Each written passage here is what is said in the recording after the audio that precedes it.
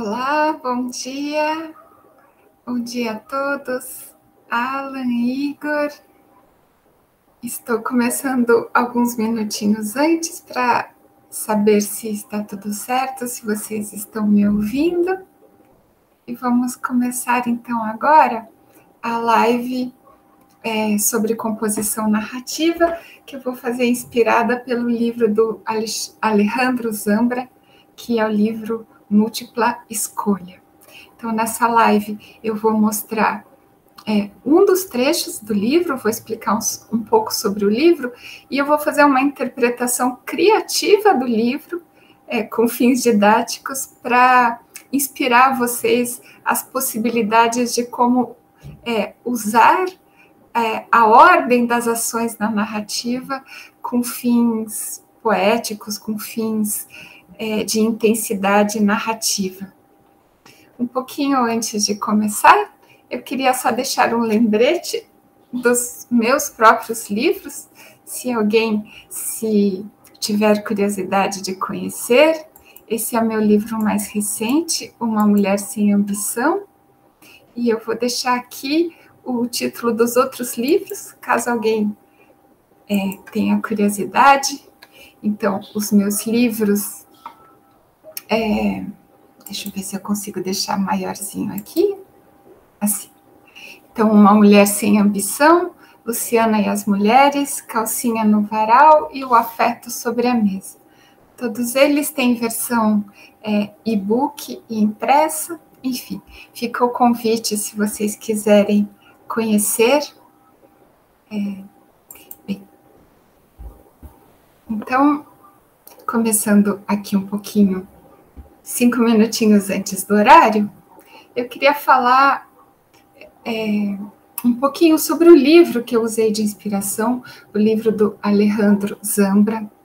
Esse é um livro muito interessante. É um livro de literatura, vamos dizer assim, experimental, porque ele faz uma paródia de um exame vestibular, né, uma prova de aptidão para alunos do ensino médio, que era o vestibular padrão do Chile é, até o início dos anos 2000. Então, o livro ele tem uma forma de exercícios de múltipla escolha, tem várias questões e opções de resposta, mas, é claro, não é um, um, exame, não é uma prova, né? Todas essas opções de resposta são ideias de personagens, ideias de ações, situações, narrativas e não tem resposta certa. Né? A cada opção de resposta, entre aspas, que ele coloca no livro, é, é um estímulo para você pensar como é, as variações a partir daqueles elementos que ele colocou como o significado muda dependendo da opção de ordem, de tirar uma palavra, colocar uma palavra, trocar as palavras de ordem. Então, como um determinado texto vai ganhando outros significados se você mexe na ordem, inverte, tira, coloca uma palavra a mais. Por isso que é uma literatura experimental. É, não é que você vai ler o livro e seguir uma narrativa linearmente, sendo levado pela mão pelo escritor, mas é uma espécie de um livro-jogo que você tem que ler pensando e interpretando as várias possibilidades que aquele livro te oferece. E, bem, é... então, o, o que eu selecionei para mostrar para vocês e a live vai funcionar assim. Eu vou, é, primeiro, na primeira parte, eu vou mostrar tudo que eu trouxe, né? Falar um pouco das sugestões que eu tenho para vocês exercitarem e pensarem, e depois que eu fizer essa parte que é mais uma aula, depois eu vou abrir para perguntas e comentários de quem estiver assistindo. Então, eu peço só um minutinho enquanto eu vou colocar na tela o primeiro exercício do Alejandro Zambra.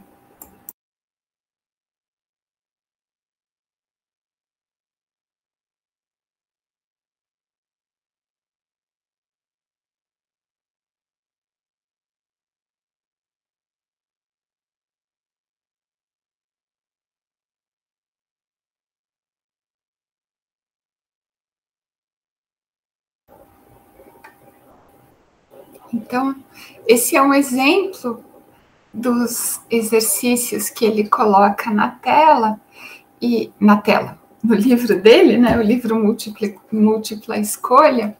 E eu escolhi esse porque ele é bem curtinho, então vocês podem é, ler ele facilmente aqui na tela. E, e ele é, oferece muitas possibilidades para a gente é, pensar sobre a narrativa e os efeitos da narrativa. Eu vou ler tudo que eu estou mostrando na tela, eu vou ler para vocês em voz alta, também porque é, eu penso que algumas pessoas veem os vídeos do canal como se fosse um podcast, só escutando. Então, tudo que eu mostrar de imagem na tela, eu vou ler em voz alta, pensando também nas pessoas que estão ouvindo mais do que assistindo. Então, é, nesse micro conto, né, nessa micro questão de vestibular, o título é Um Filho. E tem cinco frases numeradas. Então, a primeira, você sonha que perde um filho. Segunda frase, acorda. Terceira frase, chora. Quarta frase, perde um filho. A quinta frase, chora. E esse exercício, né, essa questão de vestibular, ela faz parte de um, um trecho do livro, uma parte do livro que se chama Plano de Redação. Então, nessa questão, a proposta é a seguinte: nesses exercícios, assinale a alternativa que corresponda à ordem que mais adequadamente constitui um bom roteiro ou plano de redação. Então, isso era uma parte de prova que realmente existia nessa espécie de vestibular do Chile nos anos 90. Eu procurei na internet um exemplo de uma prova de 1994 e, e eu li várias questões parecidas como essa. É, aqui no Brasil, nos cursinhos de preparação para o Enem, também tem aula sobre isso. Aqui no Brasil, eles chamam de planejamento textual, ou projeto de texto, ou planejamento de redação. Então, seria uma espécie de resumo que você faz em, em tópicos do que você pretende falar na redação, para que a sua redação tenha um discurso bem organizado, né, para que você consiga apresentar suas ideias de maneira clara, envolvente, até chegar numa conclusão. Então, essa questão está é, nessa parte da prova que se chama plano de redação. Projeto de redação seria aqui, em português. Então, imaginem, vocês têm essas cinco frases e precisam imaginar qual é a ordem correta dessas frases para que a sua redação seja o melhor possível. Essa é a brincadeira que ele faz no livro, porque pelo próprio conteúdo que vocês veem, né? Perder um filho, chorar, não, não tem a melhor ordem. Né? Quando a gente fala de literatura, não existe ordem correta ou a melhor ordem. Cada ordem traria uma nova interpretação e cada ordem que vocês é, colocarem essas frases vai trazer um significado diferente. Nenhum deles melhor e nenhum pior. Na literatura não tem certo ou errado. Existem é, variáveis de significado, né? Significados diferentes a partir de um certo conteúdo, depende da ordem que você narra. E é isso que eu vou mostrar para vocês daqui a pouco. Mas tinha uma outra coisa que eu queria falar para vocês antes da gente fazer essa brincadeira da ordem das frases. O que eu queria chamar a atenção para vocês, né? Lembrem que o livro aqui é sobre construir a narrativa através de ações eu queria chamar a atenção para vocês sobre como essas frases que estão nesse exercício, como elas são ações e o que isso significa em termos de efeito da narrativa. Enquanto eu tomo aqui um golinho de água antes dessa explicação, quem estiver assistindo, o Alan e o Igor, se puder dar um, um tchauzinho, só para confirmar se vocês estão assistindo. Eu vejo que tem quatro pessoas assistindo. Só um, um tchauzinho, só para eu saber se o som está chegando bem, se vocês me ouvem bem. É, então, seguindo aqui com o que eu estava falando sobre o efeito das ações na narrativa. Então, vejam, é, as cinco frases são ações, né? Você sonha que perde um filho. Sonhar. Quando você imagina na sua cabeça um personagem deitado, sonhando, né? Claro, no cinema a gente tem mais dificuldade de mostrar o sonho, mas na literatura a ação sonhar é uma ação clara, expressa de maneira simples nessa frase. Ah, que bom. Obrigado, Igor, Anne, Isaías. Obrigada por darem um alô. Então, sonhar é uma ação, acordar é uma ação. Né? A gente já vai ver que acordar pode ter mais de um significado. Então, você pode ter acordar de dormir, né? despertar, você, você está dormindo, você desperta. É um significado mais literal. E também pode ter um significado acordar, um, um significado figurado, de se tornar consciente, né? Ficar atento para algo. De qualquer forma, é um verbo, uma ação, acordar. Chorar também, chorar, assim, no sentido literal, derramar lágrimas, de tristeza ou de outro motivo, perder um filho. Aí, essa é uma frase que, que é interessante a construção, porque perder, você deixa de ter algo. É, você tinha algo e perde aquilo pela distância ou talvez pela morte, no caso de um filho. Vejam que no nosso dia a dia, a gente, a nossa primeira tendência quando fala perde um filho é que o filho morreu, perdeu pela morte. Uma das coisas talvez mais trágicas, né? Uma das maiores dores que a gente consegue imaginar é um pai ou uma mãe que perde um filho e talvez até por ser algo tão profundamente triste, tem essa atenuação de não dizer morrer, mas dizer que perde um filho. Mas, como não é um sentido literal, né, quando a gente fala perder um filho, querendo dizer morrer, não é o sentido literal. Então, a gente não pode dizer que é a única interpretação. Então, perder um filho pode ser perder pela distância, por uma briga, por uma ruptura, enfim. Aqui, é, aqui não diz perder pela morte, mas eu vou muitas vezes usar aqui essa interpretação de perder pela morte, porque é uma interpretação mais, é, mais usada no nosso dia a dia, no nosso cotidiano. E a última, a, a última frase também é chorar, chora. Eu também queria chamar a atenção aqui que não se diz em nenhum momento se esse personagem que é você é um homem ou uma mulher. Né? Esse, esse microconto, esse você, é cada, cada uma das pessoas que leem, né? Está escrito em segunda pessoa, você. É, então, você sonha que perde um filho, acorda, chora, perde um filho, chora. Quando eu falei da, da importância narrativa de serem ações, é, o que, que eu queria dizer com isso? Veja, não tem nenhum adjetivo. É, nunca se fala de tristeza, por exemplo. Então, é, você está triste, inconsolável, é, seu mundo acabou, enfim, não tem nada para criar clima, não tem nenhum adjetivo triste, inconsolável, derrotado, fracassado, é, nada disso. Apenas esse verbo chora.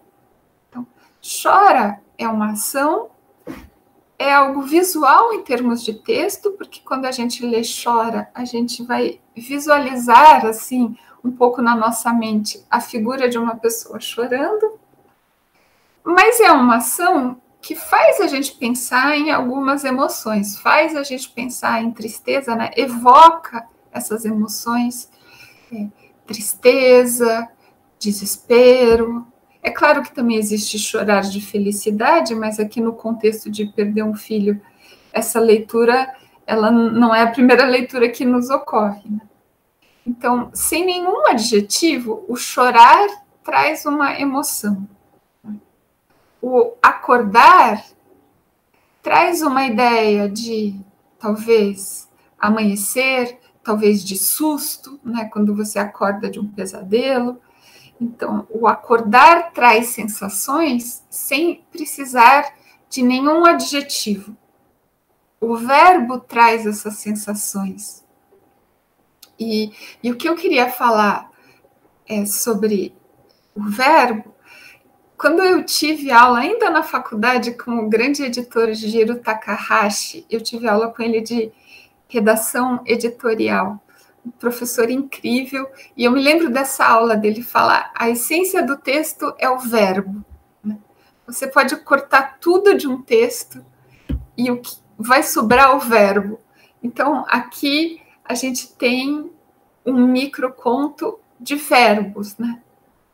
É, tem um personagem, esse você, um objeto, que é o filho, o filho que se perde, o resto são verbos, verbos de ação: perder, chorar, acordar.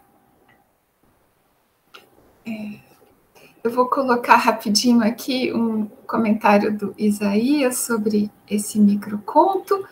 Enquanto isso, eu vou trocar de tela, porque agora eu fiz vários outros slides com as respostas que o Alejandro propõe. Então, eu montei essas respostas para a gente ver e interpretar. Vejam, a, a brincadeira que ele faz, né? Como se fosse uma questão de vestibular, é para a gente decidir qual dessas ordens seria a melhor, qual dessas ordens é a mais apropriada. E o que eu vou mostrar para vocês é, nos, nos exemplos que eu coloquei na ordem é, é como não existe nenhuma melhor, né? nenhuma é mais correta, nenhuma é mais apropriada, e cada uma delas vai ter um significado que vai bater diferente na gente. É, então, eu vou aqui mudar de tela, só um minutinho.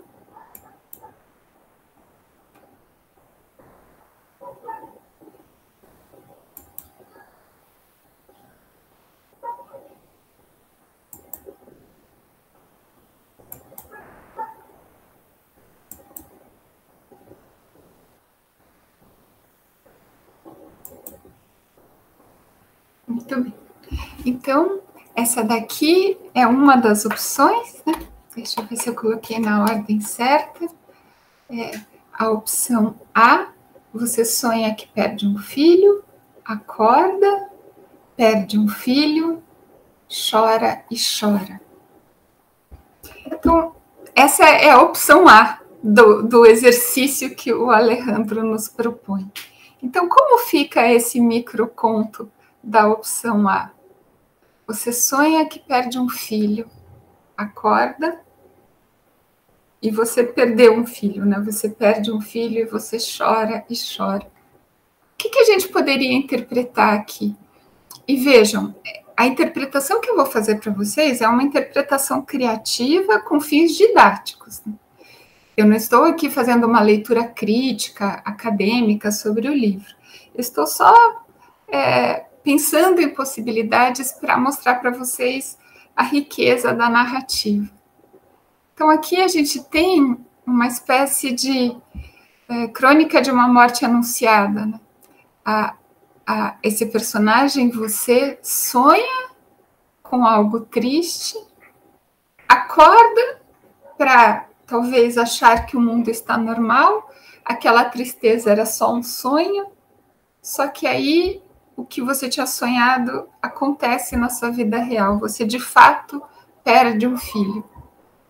E o, o que você pode fazer diante disso é apenas chorar, lamentar, se afundar na sua tristeza. E vejam que a repetição chora, chora, né? ela faz um prolongamento desse sofrimento.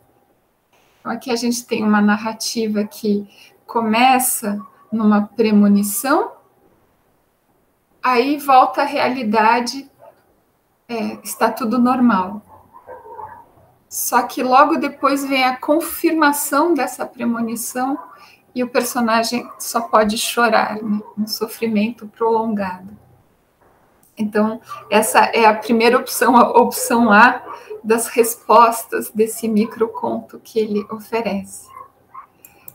Agora vamos ver é, a próxima opção que ele coloca. Então, eu vou fechar essa e vou abrir essa. Então, essa é a opção B. Você sonha que perde um filho, acorda, chora, chora e perde um filho. Então, aqui a ordem mudou. Começa com é, esse sonho, esse sonho de algo triste. E vejam que na primeira narrativa eu falei que o sonho era premonitório. Por que, que eu falei que era premonitório ali na primeira opção? Porque você sonhou, acordou e logo aconteceu o que você tinha sonhado. Então parecia uma premonição. Agora aqui é diferente, porque entre sonhar e de fato perder o filho, acontece mais coisas no meio. Então, entre o sonho e o acontecimento, é, não está tão perto no tempo. E se não está tão perto, ele perde esse efeito premonitório, né? Não se confirma tão rápido. Aqui a gente poderia interpretar que esse sonho ele é mais um medo do que uma premonição. E por que que eu estou interpretando assim? Então você sonhou que perdeu um filho e quando acordou, aquele sonho foi tão ruim, tão sofrido que você só pode chorar, né? Você chora, chora por algo que nem aconteceu ainda. Então você sonhou, você está chorando pelo que não aconteceu, pelo que estava na sua cabeça, pelo que você tinha medo que acontecesse, né? pela a sua imaginação do seu sofrimento é tão sofrida que você chora, sendo que isso nem aconteceu ainda. E aí vem esse final chocante, né, essa ruptura, que você está chorando por algo que ainda nem aconteceu e aí aquilo acontece. Então você já estava sofrendo em antecipação e aí o seu pior medo acontece. Então aqui a perda do filho, em vez de ser algo trágico, como no acontecimento anterior, porque na versão anterior você perdeu o filho e aquilo te levou a um tremendo sofrimento, é trágico. Aqui, a perda do filho é um choque, né? Não é trágico no sentido, porque a gente não está vendo é, a decorrência disso. É uma surpresa final, uma ruptura final. A história termina com a surpresa de mostrar que aquilo que você já estava sofrendo antes, de repente aconteceu. Talvez o personagem depois disso pare de chorar, né? que ele já estava chorando tanto de medo antes que quando acontece, talvez o personagem pare de chorar. Mas a gente não sabe porque o conto acabou. Então aqui a gente tem um choro pelo medo, né, pela ansiedade, pela expectativa de algo triste. E quando esse algo triste de fato acontece, você lendo pode se perguntar bem, mas o que vai acontecer agora que perdeu o filho, já que o choro veio antes e agora vai fazer o quê?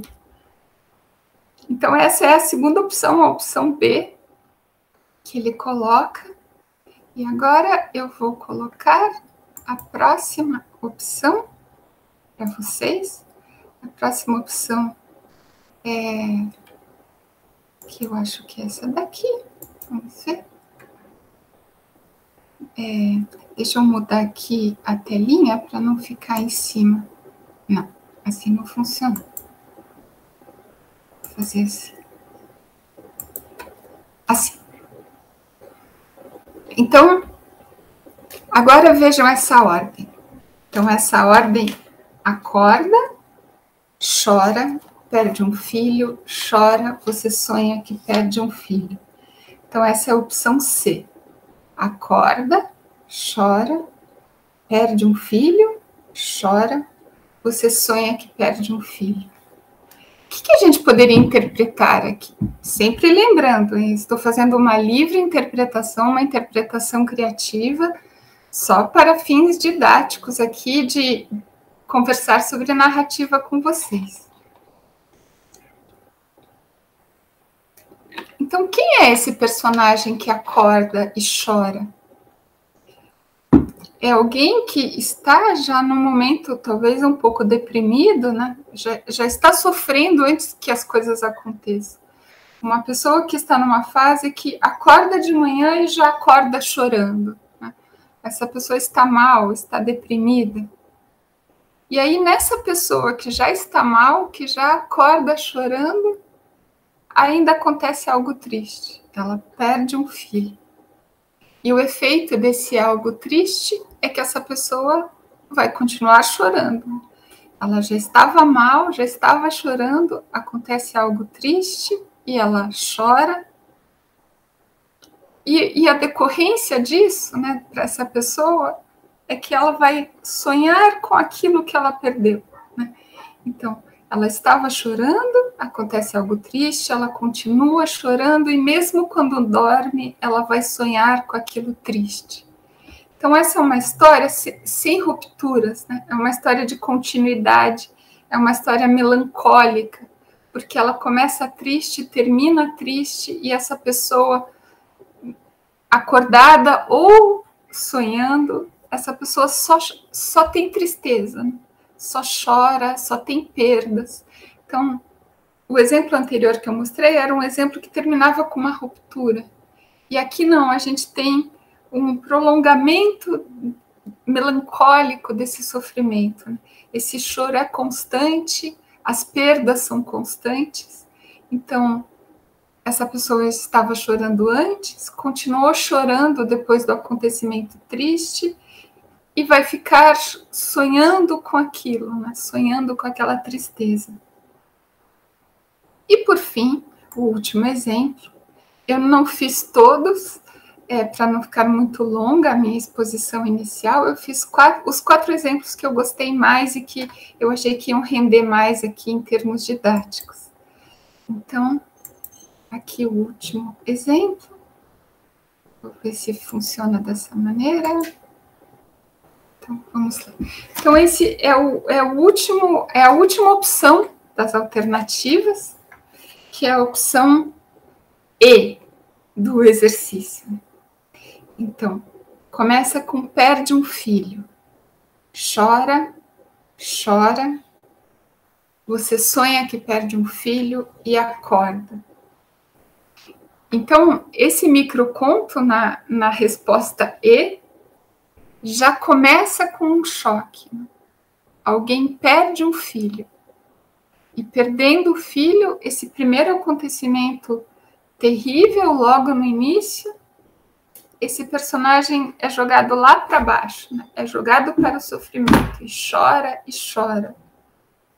E esse sofrimento talvez chegue lá no fundo do poço, né? aquele choro prolongado, até que nesse fundo do poço você sonha que perdeu o filho. Né?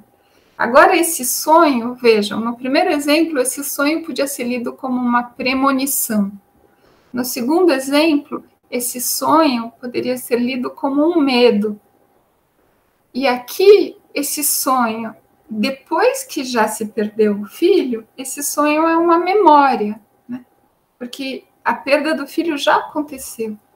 Então, quando está ali no fundo do poço da tristeza, do choro, a sua memória traz de novo aquela perda do filho e então você acorda. Haveria uma, existem maneiras diferentes de interpretar, mas a minha interpretação aqui para vocês é que essa memória da perda, de repente, já seria um primeiro passo de de um amadurecimento ou de uma cura daquela dor. Claro, a dor de perder um filho pode nunca se curar, mas quando você acorda depois desse sonho, é como se a sua memória estivesse trazendo você de volta à vida, né? Então, algo terrível aconteceu, isso te jogou lá no fundo do poço, mas a memória vem te trazer que você está vivo, você precisa acordar. Então, acorda, acorda e segue em frente, né? A gente poderia ler esse acorda como um segue em frente, porque as dores vão ficar nas nossas costas, na nossa memória, mas o único caminho é seguir em frente. Então vejam que com essas cinco é, frases, eu mostrei aqui para vocês quatro contos diferentes. Quatro contos diferentes, eu só não fiz o último. Num deles, essa frase, sonha que perde um filho, poderia ser uma premonição, na outra poderia ser um medo, na outra poderia ser uma memória. O acordar pode ser um siga em frente, pode ser um início de dia. É, então, retomando o que eu falei lá no início, né, quando eu falei para vocês que a ação ela traz um significado muito rico de sensações e sentimentos sem precisar dos adjetivos. Porque a ação é uma imagem, de certa maneira. Né? Quando você coloca um verbo de imagem, como sonhar, é, é uma ação real. O, o leitor vai construir na, na sua cabeça essa imagem de, de sonhar, que pode ser uma pessoa dormindo e uma atividade mental do sonho. Então, quando você coloca isso, por ser uma imagem, a leitura da imagem é sempre mais ambígua do que uma explicação esmiuçada. Então, se você se vocês escrevessem num, num conto virtual, né? É, você está dormindo sonhando com muita tristeza, num labirinto escuro e seu filho é agarrado de você e é afastado, etc. Quanto mais detalhes vocês incluírem, mais vocês tiram a ambiguidade da frase. Quanto menos detalhe a frase tiver, mais possibilidade de leitura ela tem, porque ela vai ficando mais misteriosa. Né? quanto menos você explica, mais mistério você cria. E esse mistério vai abrir para múltiplas interpretações de quem lê. Então, é, a vantagem de você escrever com menos adjetivos, menos explicações e se concentrar no que acontece, sem contextualizar aquilo que acontece, mas deixar a ação pura para o público quase ter contato com aquela realidade que você está colocando e não com a sua explicação sobre aquela realidade. Realidade ficcional, claro. Então você abre esse caminho do mistério e da ambiguidade e o seu texto se torna mais interessante. Porque se você explica demais, as pessoas podem se cansar da sua explicação porque não tem mistério nenhum.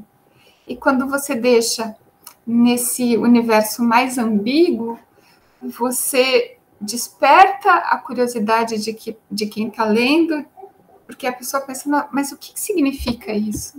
O que, que significa isso? Eu vou ler até eu conseguir entender o que essa pessoa está querendo dizer com isso. Bem, é, vou dar aqui uma olhadinha nas minhas anotações para ver se eu esqueci de algo. E enquanto isso, é, vocês podem pensar em algumas perguntas aqui para o chat, porque então, a partir de agora, é, vamos conversar, fica aberto para vocês comentarem, perguntarem e, e, a gente fazer uns 15 minutos finais de conversa sobre o tema é, desse, dessa leitura que eu apresentei para vocês hoje, do livro Múltipla Escolha, do Alejandro Zambra. Então, enquanto vocês colocam suas perguntas, eu vou aqui vendo se eu esqueci de falar alguma coisa.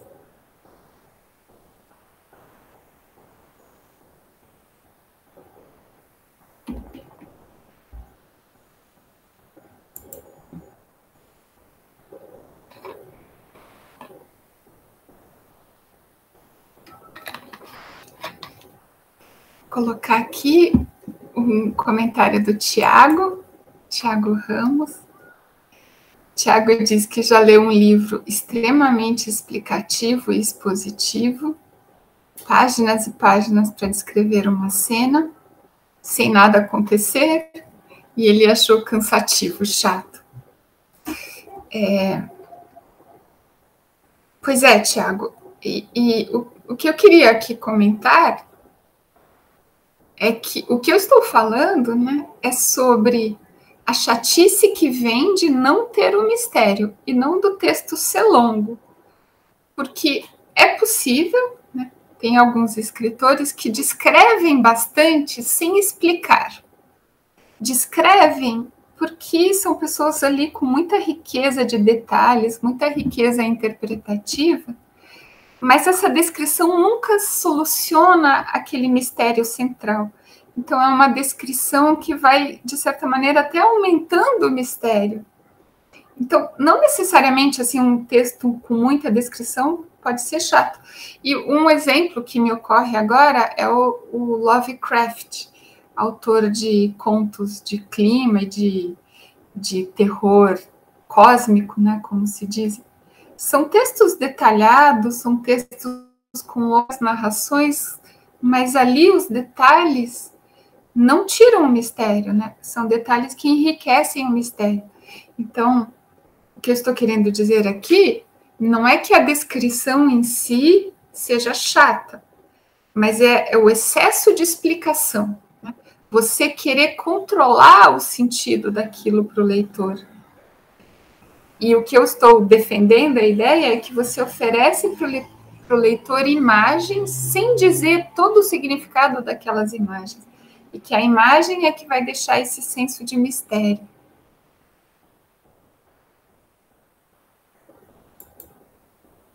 É... O Igor pede exemplos de autores que escrevem nessa ambiguidade. É... Bem, eu vou falar o que me ocorre de memória agora, né? porque eu não trouxe aqui uma lista de autores, mas uma escritora que eu gosto muito é a Lydia Davis. Lydia Davis é, é Lydia com Y. Eu vou até colocar no, no chat aqui. Lydia Davis. É, ela é uma escritora de microcontos. Davis. Ela é uma autora de microcontos, assim, no universo da fofoca literária. Ela é ex-mulher do escritor Paul Auster. Talvez o Paul Auster tenha ficado mais famoso do que ela, né? autor da trilogia de Nova York, é, autor do roteiro do filme Smoke, Cortina de Fumaça, que é um filme, acho que do final dos anos 90, que teve muita repercussão na época.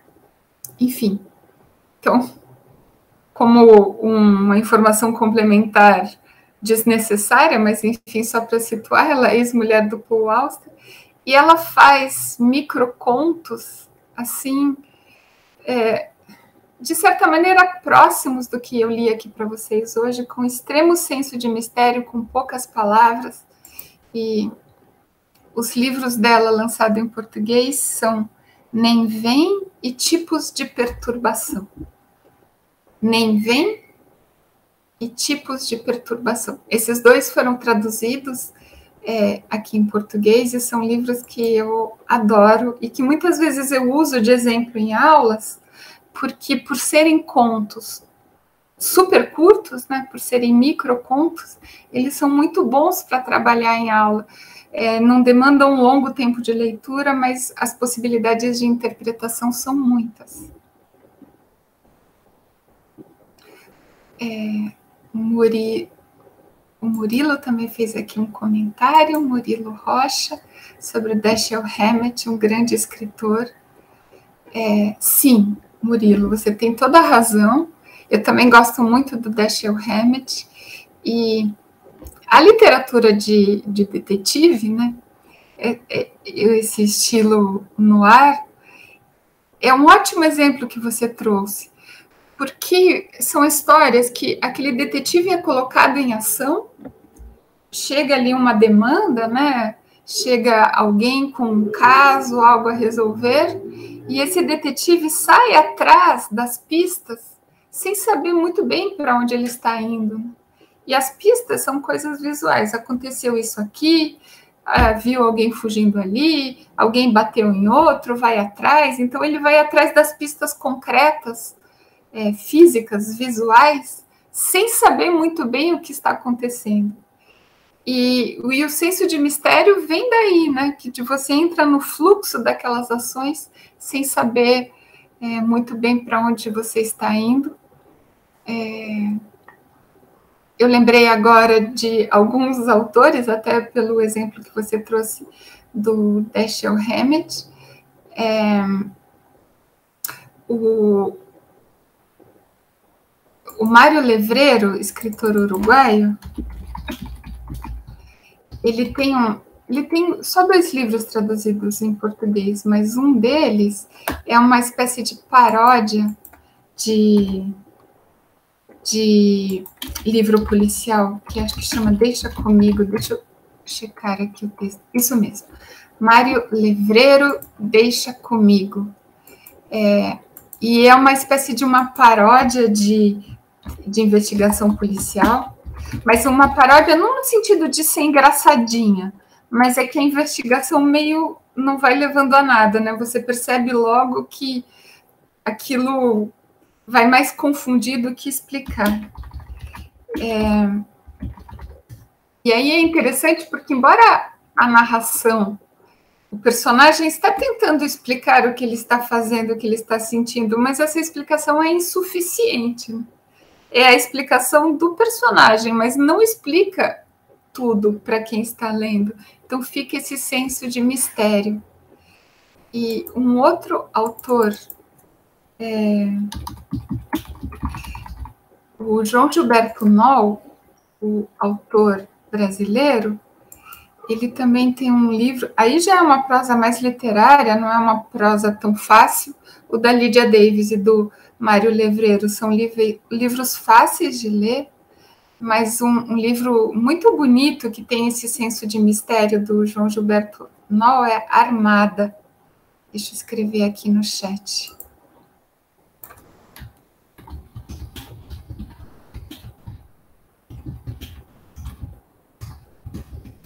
ficam três sugestões, é, sendo que as primeiras, a Lídia Davis e o, o Mário Levreiro, são textos mais curtos, né? fáceis de ler no sentido de serem curtos e diretos, é, mas o sentido não é tão fácil, né? São livros que despertam ali um desafio à nossa inteligência. E o do João Gilberto, João Gilberto, não, é, ele é uma prosa mais poética, um fluxo mais longo, mas é um livro também de que eu gosto muito.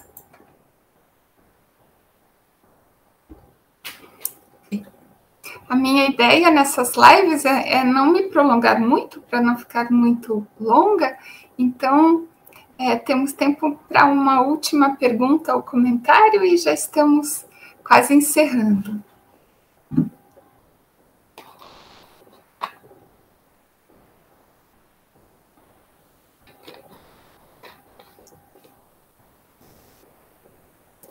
Então, enquanto a gente se prepara para encerrar, eu vou colocar aqui de novo esse lembrete sobre os meus livros, caso alguém tenha interesse em conhecer. Uma Mulher Sem Ambição é o livro mais novo, pela editora DBA. Luciana e as Mulheres é um livro que lancei em 2019 pela editora Quelônia. E Calcinha no Varal e o Afeto são os mais antigos, todos eles têm versão em e-book e impressos também é, nos sites das livrarias, enfim, acho que não é tanto, tão difícil encontrar. É. Então vamos encerrando. Estou vendo o recado da Anne, do Igor. Fico feliz pela participação de vocês. Espero que tenha sido é, proveitoso. E a minha ideia é fazer uma vez por mês uma live, então espero que vocês possam acompanhar as próximas. Então, tchauzinho!